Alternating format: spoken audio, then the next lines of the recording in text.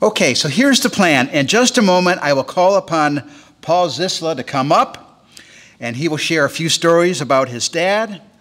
Paul and his wife Debbie came down all the way from the great city of Minneapolis. I even understand that you had a chance to get onto a local golf course, which is uh, amazing. And following Paul's remarks, Bill Gitlin, a, a friend of Harold's and a Zisla family friend, of course, will conclude the gallery talk portion of our show. And then we'll be free to enjoy the artwork on display, have a glass of champagne or lemonade, perhaps, talk with Debbie and Paul and the Gitlins and the other folks who have lent their artwork and we'll schmooze and we'll have some fun. So thank you again for your time and interest in coming out to the Federation on this beautiful day for the opening of the Harold Zisla Art Explorations. Paul, please come on up.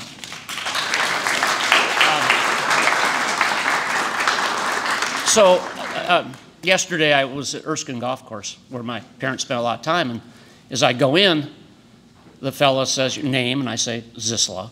And he looks at the computer thing, he says, any relationship to Harold Zisla? And I pause and say, I, I don't know where this is going. I don't know how well you knew my father, those of you that did. But, you know, this, yeah, that's true. Some things happened at Erskine Golf Course that we just aren't going to talk about today. And so, you know, I thought about it for a while, and as you can see, you know, it's not just the, the uniform that identifies me as an attorney or the yellow legal pad. I'm not an artist. So those of you, a few lawyers in the audience, you know, that lawyer joke about how you frame an answer when you're not sure what the right answer is. And so I said, it depends. and well, these stories are told, it may still. Yes, I am Harold and Doreen's. I am Doreen Zisla's son, and I also Harold's. But I to emphasize uh, Harold. Uh, I, have talked to uh, Bill Gitlin and um, poor Bill, he rode in a golf cart with my father at a lot of golf events, and uh, he's, he is coming back from that. I know a lot of you, just curiosity, uh, everybody, there are people here, did you all know my father, my mother? Okay, so uh, uh part of it, what we're going to do is, uh, yeah, my, we, we said cubism, and if there's anything about cubism, if you knew my dad, uh, multiple perspectives, different ways of looking at things. And so we all have our memories and our sense of my father. Mine is warped in a certain way, being his son. Bill spent a lot of time with him. You have your own, and we'll share some of that. And um, I am, of course, uh, be my dad's. I'm going to vary the program a little, a lot. Uh, and, and, we don't want to keep you here too long, but uh, Bill, I, I, think you're okay with Bill's going to talk some stuff about my dad's relationship to uh, something about the Jewish community. I'm going to come back to that theme and tell a little bit about my folks' history in South Bend. Um, having come from Cleveland and in the background, because as Bill's going to point, that did influence the art in some way.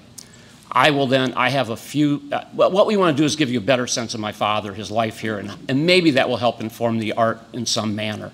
Uh, I often get asked, what is this stuff about? Well, you know, obviously lawyer, I can't explain it, but I, I get to fudge because I have my father's journals. And so those of you that have been wondering all this time, would Harold ever explain what he's doing? Well, he doesn't completely, but I picked up some quotes that might help uh, with the objective of somehow making sense of what uh, Marcia Brooks said. You know, you can somewhat feel Harold's presence in some of this work. You know, his art was about it, uh, inner self to some extent, largely. And I hope I can help, but I, am going to fudge. I'm just going to read what he had to say. And not too much of it. You know, it gets boring, I'll stop. Uh, so that's kind of where the overall plan, it's a little deviation from what Mo suggested, but I've been thinking about it on the drive down here. I guess that's what we're going to do, and we'll be mindful of the time. I, I should say, uh, Debbie Zisla's here, and, and, Debbie, like my father, uh, was an excellent, still is an excellent teacher.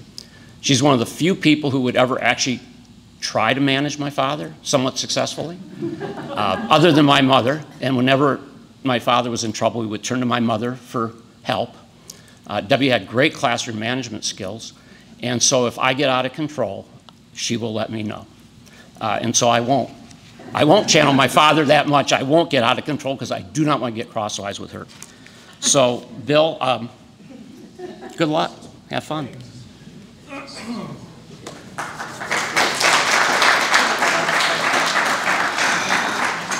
Thanks, Paul. Um, I think that Harold would find this deliciously ironic that I would speak today at an art opening.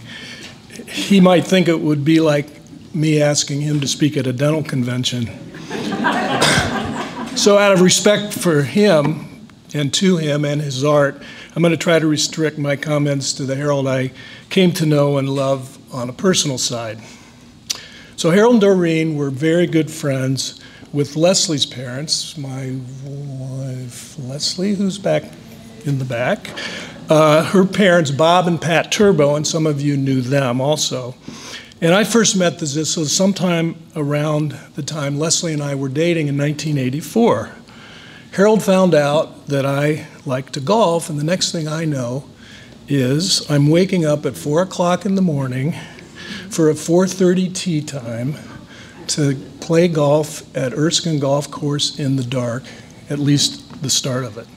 The 4:30 tee time didn't last that long, but the golfing experience with Harold did for over 30 years.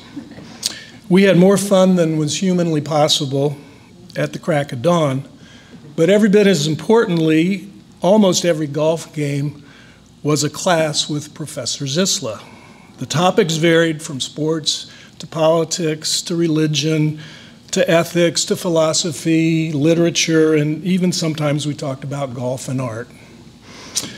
The game was almost always followed by a trip to Harold's house for breakfast, and it was there that I first encountered Harold's studio. And for those of you that have had the opportunity to see it, you know it was the epitome of a serious working artist. And I'm not sure which outnumbered which, but in that studio, it was a close contest trying to determine if there were more books than paintings and drawings, or vice versa. There were so many of each that on more than one occasion I told Harold I thought he ought to get a hobby. you can imagine what he said to that. Um, Doreen used to joke that they became really good friends with the UPS guys because of all the books that they would deliver on a regular basis. There was always a painting on Harold's easel in various states of completion, and his work was a reflection of his continuous study of most of the aforementioned subjects. Now, there are many of you in this room that could comment on the art far better than I, as I've already mentioned, so I won't attempt to do that. But I will say that throughout his lifetime of reading, studying, and teaching, his work continued to evolve until the day he was no longer able to paint. So I'll conclude by touching on a few observations I've made about Harold after years of waking up and walking up and down the fairways at Erskine. There are three areas of Harold's life that I want to focus on, and the first and foremost was, of course, Doreen. Harold and Doreen were married for almost 70 years, and it was a true partnership in the traditional sense of the word. He would not or could not have been the Harold we came to know and love without Doreen having been there to support him. And I've told this story many times, and some of you have heard it probably many times. But when Harold was in his upper 80s, somebody asked him if he ever thought he would go into assisted living. And his answer was, Hell, I've been in assisted living all my life. Which, of course, we can attribute to Doreen. On an, one occasion, Doreen had taken ill to the point that she had to send Harold to Martin's to do grocery shopping. And when Doreen returned to Martin's, someone there who knew them said, Don't ever send him back here again. so there are many couples like this, but if you were to say Harold and Doreen, it was truly like saying one word run together religion. Harold, everybody's laughing already. Harold, not unlike many of us, had a complicated relationship with religion in general and Judaism in particular. He was born into an Orthodox family and was a bar mitzvah, but sometime after, shall we say, he became disenchanted with the whole idea of any organized religion and the concept of a deity worth paying homage to. He was greatly affected by the Holocaust and the idea that human beings were capable of inflicting that kind of misery on one another. Having said all that, though, I used to argue with him periodically that Harold, like it or not, was who he was partly because he was Jewish and everything that entails. And there is even some small representation of that in this show, including a piece that Leslie and I are fortunate enough to have that was painted sometime after the Israeli Six Day War in 1967. It's hanging on the wall um, in the entrance. It's a large abstract painting of what appears to be a soldier with a helmet and a prayer shawl. Relationships. For those of you that knew Harold, you knew that he was always the life of the party. But beyond those superficial encounters, relationships were very important to him. The number of students who revered him, continued to visit him, counsel, and learn from him well past his retirement from teaching are too numerous, too numerous to remember and speaks volumes about the impact he had on the lives of so many of them. Harold had a multitude of friends from all different walks of life. Four of them come to mind, and they are Lester Wolfson, Elmer Zedley, Howard Engel, and Father Richard McBrien. Howard is with us here today, front, not quite front row. Um, and he could no doubt offer his own insights and a few stories, I'm sure. Um, but each one of them added a different perspective that helped round out Harold's non artistic life. Elmer, in particular, was someone Harold met on the golf course, and even though they had little in common, Elmer was a professional truck driver, Harold was an academic, intellectual artist. Even though they had little in common off the course, there was an indescribable bond between them that generated more stories than I can repeat, especially in a, a public setting. I'm not sure exactly what Harold would have thought about this opening and the show, and for sure my comments, but I'd like to think that deep down he would have been flattered to know that people in this community still cared about him and his work eight plus years after his death. Next year in June will be the 100th anniversary of Harold's birth. And it's fitting that we honor him and his legacy and also revisit his artistic life. So enjoy the work. I know that Leslie and I have been lucky enough to do so with some of it every day. Uh, thank you, and I'll turn it back to Paul, who will fill in all the blanks that I probably missed. you know, of course, uh, of course, Bill failed to say that one of Harold's best friends was Bill Gitlin. Uh, and what Bill also didn't say is those trips to my folks' house. He was, he was their friend. He was also Doreen's dentist, primarily dentist. And something that I think, to me, it could only happen in a community like this. Uh, dentists don't typically make house calls.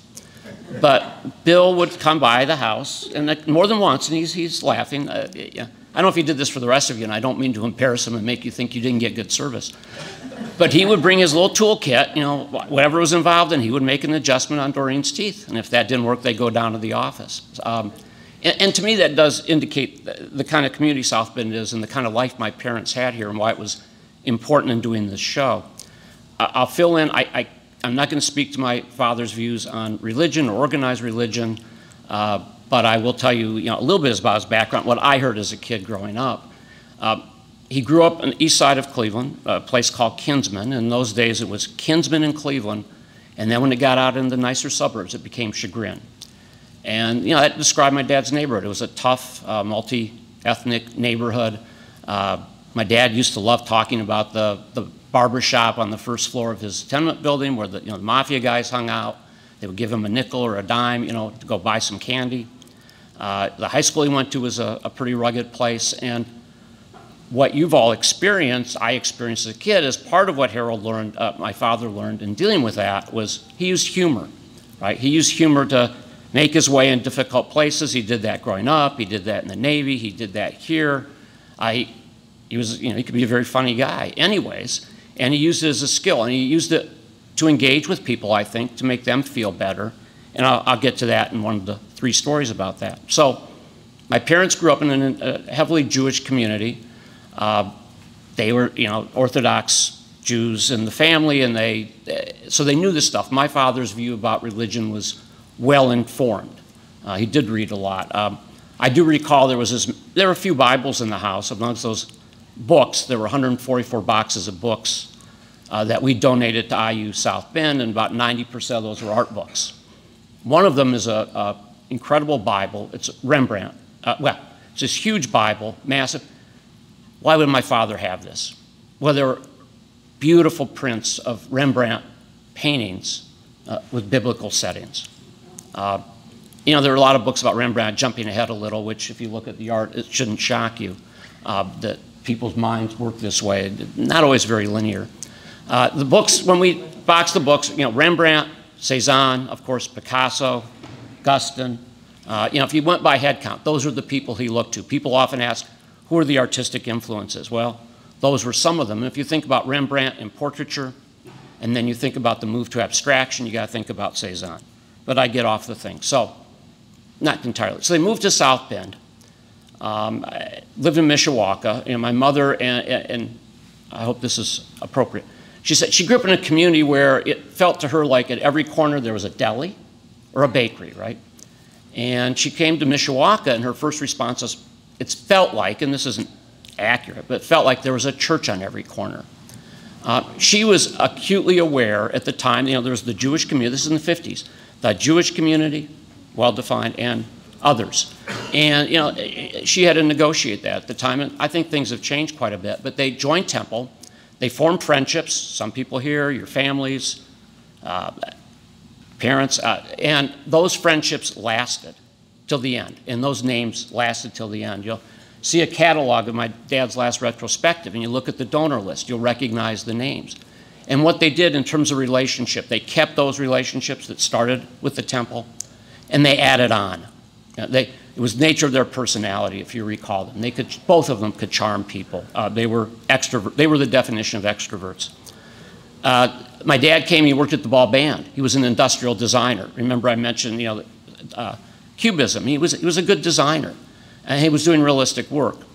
He he was at the ball band and he called it the ball band. It's now a lovely park with restaurants and the like at that location. He winds up at the art center in 19 I don't know mid six, late 50s, early 60s. And at the Art Center, as my mother said, you know, it was a public facing kind of job. And so my dad would get to know a lot of people from a lot of, not just in the Jewish community, but throughout the town. And I think people liked him. He charmed them. He worked. You know, he worked hard. He helped build the art center. It's now the museum. Uh, one of the aspects of that, uh, and this is a little bit about his personality and the people he knew, and, and I won't try to describe more of his personality, your own reflections, but uh, he went out to, in those days, the two martini lunch was like a good starting point. And if you knew Harold, I mean, Harold, the two martinis at lunch could be just hysterical and just really funny. And it was, you know, at times you felt like you were in a Robin Williams stand up routine when he would get going at home. And that's why I'm drinking a lot of water. If you've ever seen Robin Williams, drink a lot of water during his routines. So he was out for like a two or three martini lunch with a guy named Bob O'Connor. And you know, my dad was, it was sometime in the spring, and my father was giving Bob a rough time about Lent and giving up for Lent and challenging him about it. You know, why are you doing this? Ah, you're giving up easy stuff. And Bob said no. He, gave, he mentioned what he had given up for Lent. It was something really serious and significant. And so Bob O'Connor, who I did not meet, but I heard a lot about, he challenged Harold. Um, and he really pushed him. And he said, well, you know, why don't you consider changing something or giving up something, you know, really making a commitment. Now, this is a guy who grew up in Cleveland, Started smoking maybe when he was either seven years old or seventh grade.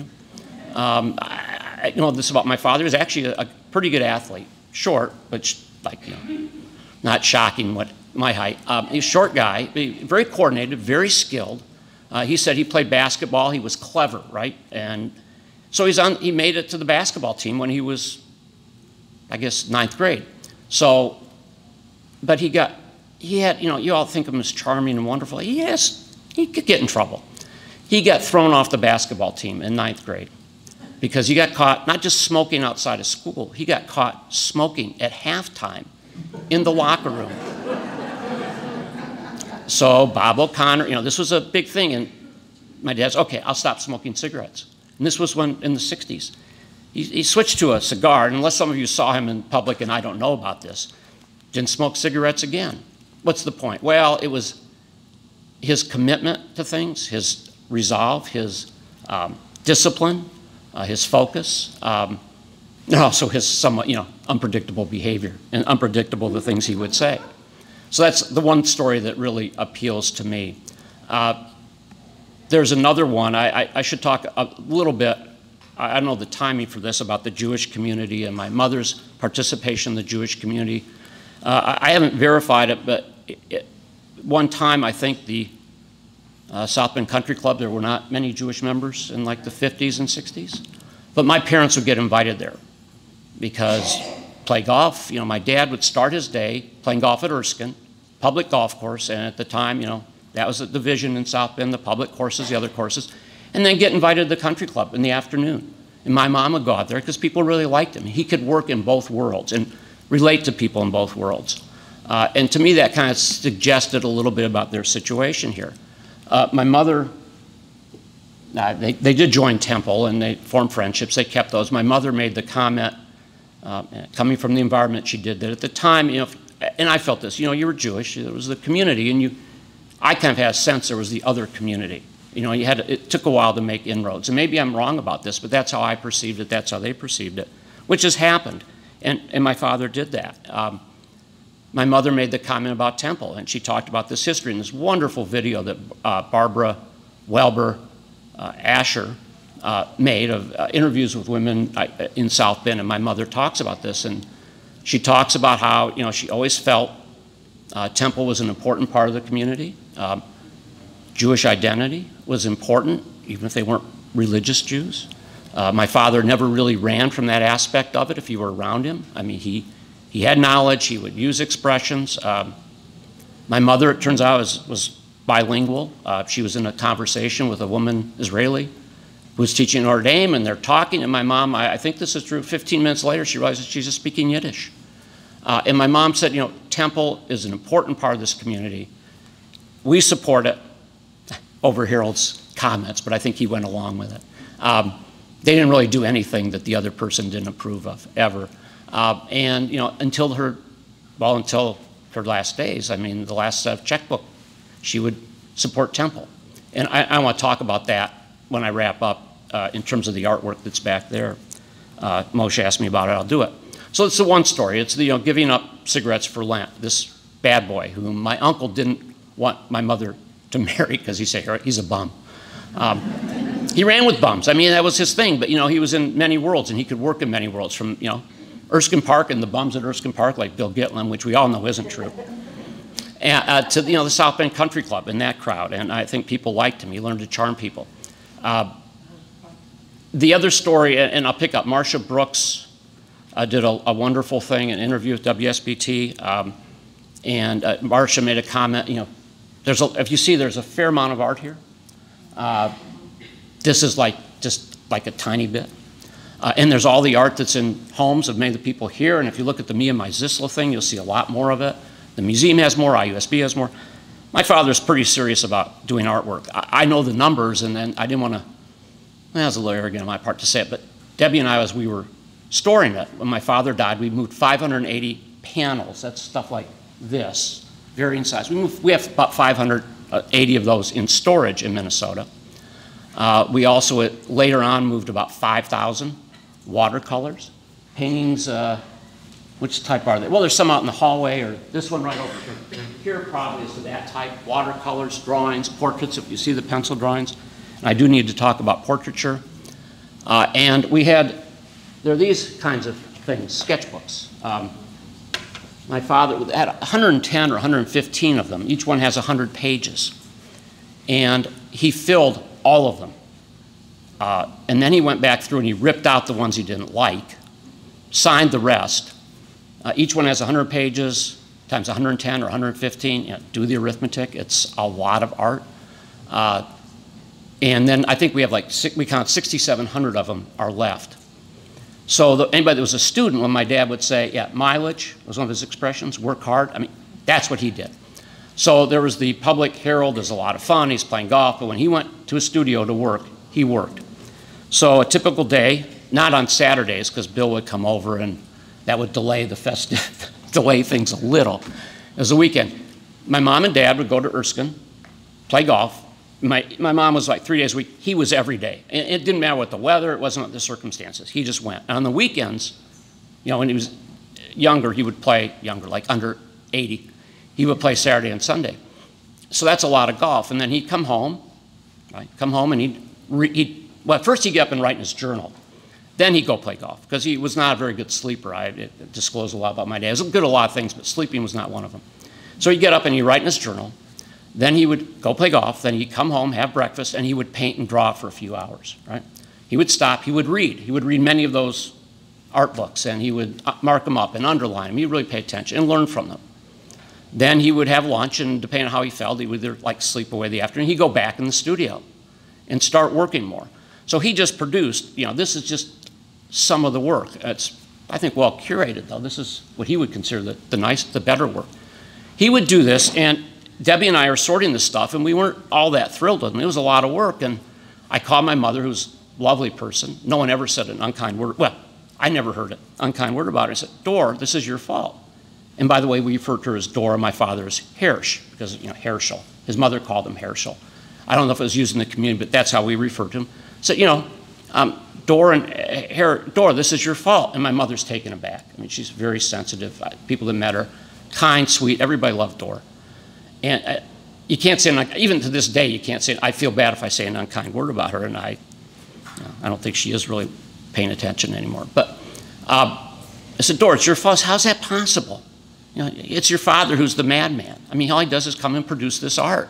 And it's art of a lot of variety. It's intent, right? It's intense. It's colorful. It's got a lot going on. This is not, you know, it's, it is, may not be for everybody, but, it, you know, it, it's not simple stuff. He didn't just crank, you know, oh, that took me two minutes, I'm done. It's, it, there's a lot of thought in it, artistic thought. And what would happen is, it's your fault. And she said, how could that be? I said, because you only played nine holes. You really should have played 18. I mean, you really need to tire, you, you got to stop this guy somehow. I, I think somehow if you put, if you put these sketchbooks together, they like, something happens biologically, and they just produce more art, because that's what he did. so in due respect, Marcia hit on when she said 4,000, it's like way beyond that. Uh, and so, you know, that was this, that story. Then one last, do I have time? One more story about my father's personality. Uh, you see it reflected out there in some of the stuff, and then I'll start quoting him, which is a whole lot more interesting than me talking about him. Um, my last memory of, I think it's my last memory of my dad, except at the very, very end, and that's not a real pleasant memory. Um, no, it's kind of nothing. Is that I dropped him off at dialysis. He started dialysis uh, and didn't stick with it. And I, am convinced he didn't stick with it. He felt terrible. He was bored. He couldn't paint and draw, couldn't play golf. And being bored was just not something my dad dealt with very well. I mean, you can tell that. And I dropped, and he was being cranky. You know, he wasn't feeling well, but he was also being kind of cranky, morose, withdrawn, not talking his son, not talking to me. And there is always the private Harold who could, you know, be not feeling well if someone, some of you or other people show up the door, boom, he, he came alive. I mean, it was just a ball. I guess that's my signal. Debbie, you should have turned your phone. I told you to turn my phone. At any rate, I don't want to keep you all too long. I mean, there'll be time. There's, it, I, will get to it. Um, yeah, his cell phone would be way beyond here. He would just say all kinds of things about cell phones. It, it, any, but yeah, at any rate, uh, I dropped him off. You know, I, I was like I was going to leave because he just wasn't very engaging, but I knew he was sick. He wasn't feeling well. He got him in, and I parked the car. I go back in, and there's Harold with about three or four patients. Of course, he's the center of attention. You know, he did like being the center of attention. He did like making people laugh, and he could do that. He did like making them feel better. He's not talking about his situation, he's talking about them. He's finding out their life stories, he's finding about their ailment, he's finding about their treatment. Like my mother, he's finding about their kids, he's finding about their kids' friends. He really did engage with people, individuals, let me say individuals, in a very genuine way. Those of you that knew him, and I, stunned, people meet him, they, they say nice stuff. I may be the only person who doesn't. Uh, and I don't really say unnice, unkind stuff, just as he would say honest stuff. It was his, in his personality, it was his nature. I mean, if he talked to people, you could tell. You know, if you're ever at an art opening, right, there was Harold, Doreen, and there was a crowd. and he would make people laugh. He wanted to make them feel better. Now, one of the things we, that was the story, one of the things we said and we wrote, and Marcia said, you know, I, I've read my dad's journals. Like I said, this is to remind me I am not an artist, I am not an art critic. I don't really, I know something about his art, but I don't know much about art. But in his journals, I mean, one of the themes, and if you look at what's out there, you see those two, the one portrait of my father in 50, early, probably the 40s, probably before I was born. You know, he did a lot of realistic portraiture. And, you know, you look through my, me and my Zissel, there are a lot of people there posing with their portraits. And I think it's pretty easy to say, and you, know, you see these representational paintings, like the ones the temple has. You know, they are, and the one Bill uh, Leslie you know, they're recognizable people, and some are individuals. And I um, also have to point out to you, you see a lot of bright colors. There's also the one at the end, which is, you know, a little disturbing. Um, you know, that, what, what he said about the Holocaust, that did stick with him. He, uh, you know, he, he thought about those kinds of things too much. He painted portraits. And then what happened was, you know, he shifted. Um, things became increasingly abstract. Uh, and there's some paintings out there that are just color field. And, and I don't understand technically what's going on. But I know what my dad said about it. And this goes back to what I said about his personality, his nature. So now I get to read the quotes. If you're ever at one of his lectures, he just read quotes of other people. He never said anything about his art.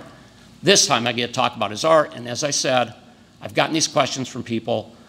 I hope they're of some help to you. I know that, you know, this work is, eh, some people really love it. Some people aren't sure. Some people just don't like it. I go through those moods all the time. There's a lot of stuff up in our house, and sometimes I feel the same way about some paintings. You know, there are days I really dig them, and days I just, they're too ugly, they're too difficult, they're too dense, they're too. Uh, and, and this is Harold speaking, all right? For the, the painting and drawing I do is a way of searching, of finding, of knowing, of mourning, of crying, of laughing, of feeling, of being, and of communicating. That's sort of a generalized thing. Uh,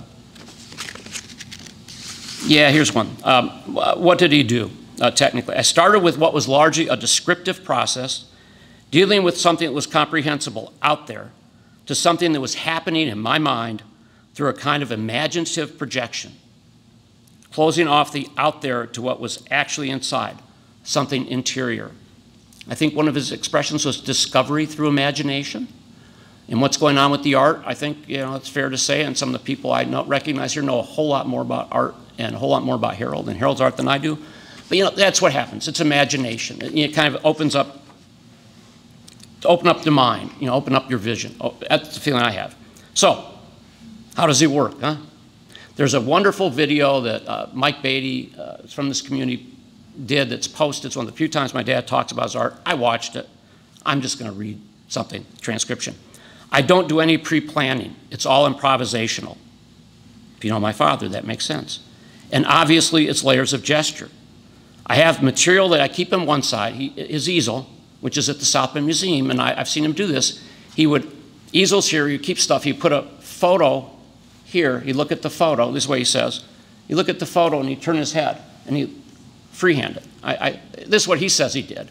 Um, and I let my hand just move through a path that picks up the essence of the thing, uh, of what I'm looking at thing I'm looking at. It doesn't duplicate it. And this is about his later work, primarily. This is the work uh, mostly after that retrospective. And we have the catalog here. I strongly recommend you take a look at the catalog and the descriptions of his work in there by uh, my sister, Beverly, who actually did have a degree in art history and did write about art, not just my father, and, and a woman named Judy Oberhausen. And, uh, you know, it was published, so it means Harold was okay with it.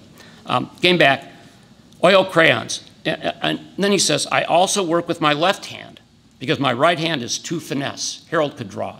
If you look at some of those portraits out there, mean, he could do portraits. I mean, portraits of people in the community, they're just stunning. Um, I also might, might also work with my eyes closed because you get a better feeling.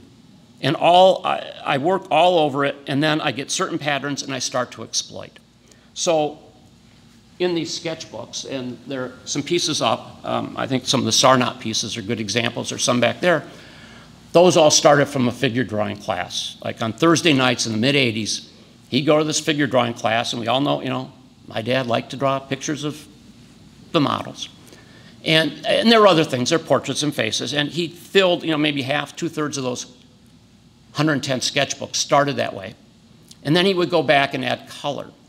Uh, and it was sort of a similar process uh, that he used.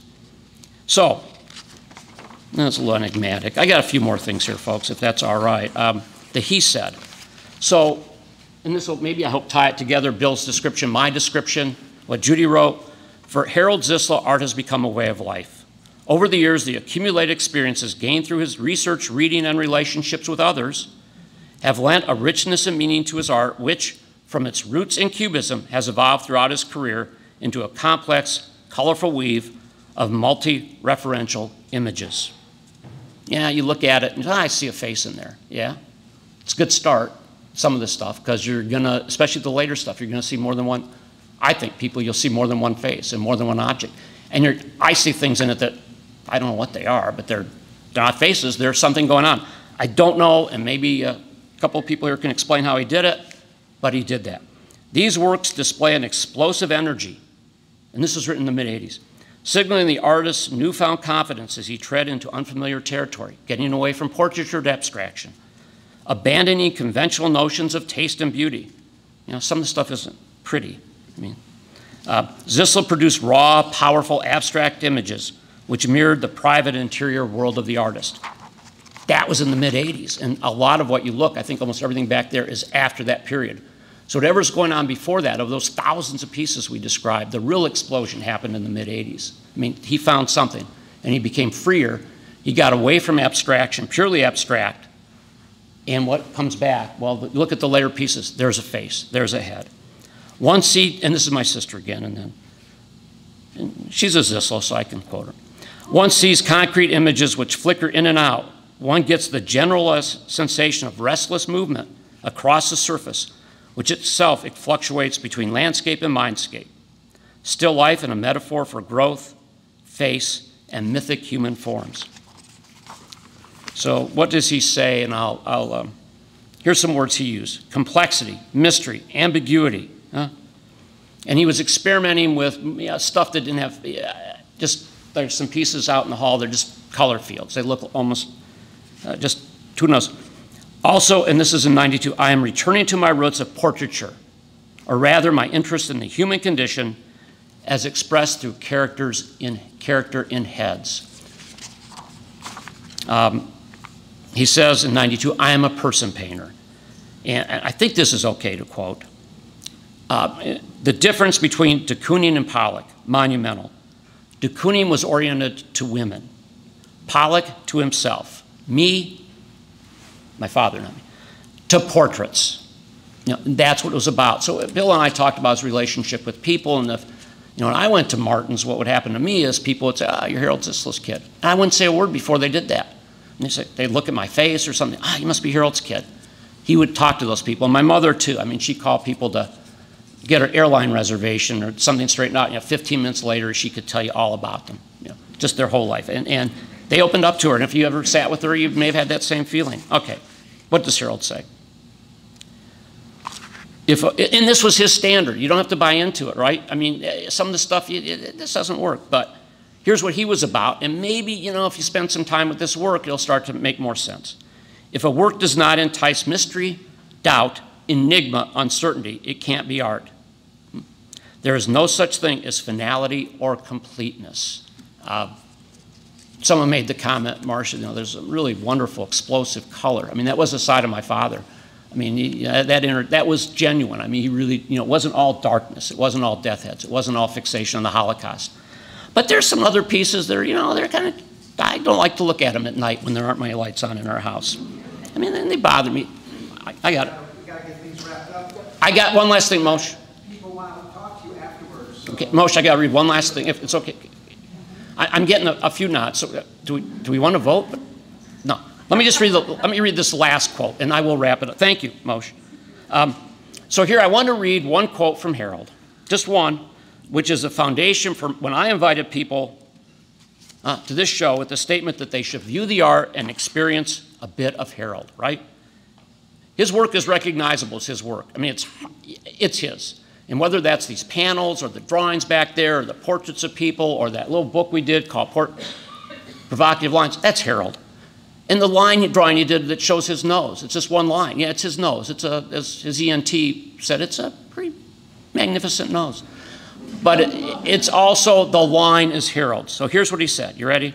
Um, and I'll, I'll drop another story I kind of like. But can anyone use my method? Of course, but with totally different results because of the differences, difference in the psyches and the complexity of the process affording myriads of choices, deliberate or otherwise. Each hand is different. It will show. Each demon possessing each of us is different. It will show. Each capacity to choose, select, or consciously manipulate will show. Somehow or other, I don't know how he did it, but you know, this is Harold's work. It's multi-layered, it's energetic. What I want to do, you know, wrap it up, is if you have pieces at home, spend some time with them. Just look at them. You know. Some days are great, some days not so much. You'll see different stuff. Um, and just experience the work. As he said in a longer quote, it's meditative. You know, it's for quiet. Uh, and so, you know, with that, I, uh, thank you, you know, uh, a lot for showing up. Thank you for the, the Federation, the museum, uh, IU, the Gitlins. I, their walls must be really a lot different now. Uh, Barb Asher, and Char- who are not here. Uh, Steve McTeague, my dad's ENT, as I mentioned, one of the wonderful pieces out there is his. You know, thank you for being here. Um, it's great to meet some people who knew my dad. You all have your perspective. I hope I didn't ruin your understanding of him. I hope, it, to some extent, tiny measure, we helped you know you get a sense of him in the work. Um, some in his own words. In the piece, I recommend the accumulations book. I should say, in terms of the art, people have asked me. The pieces in back, they are marked. Uh, as my mother said, we support Temple. If you're so inclined, you know, you want one, if you don't already have a whole bunch, you know, uh, talk to Moshe about maybe buying one. And um, what we're going to do is, you know, we do need some money to support those thousands and thousands and thousands oh, my father. Thousands of pieces we have in storage, but you know, there's some cost, but like we'd like to, you know, split the proceeds if there are any with the Federation, and if you're so inclined to add on to that, please do. Uh, as my mother said, it's an important thing in the community. It matters. Jewish identity matters. If you can help support it, we can help support it. Great. So I've gone, I, I gather I've gone a little long, um, and I could keep going, as anybody in my family knows. Thank you.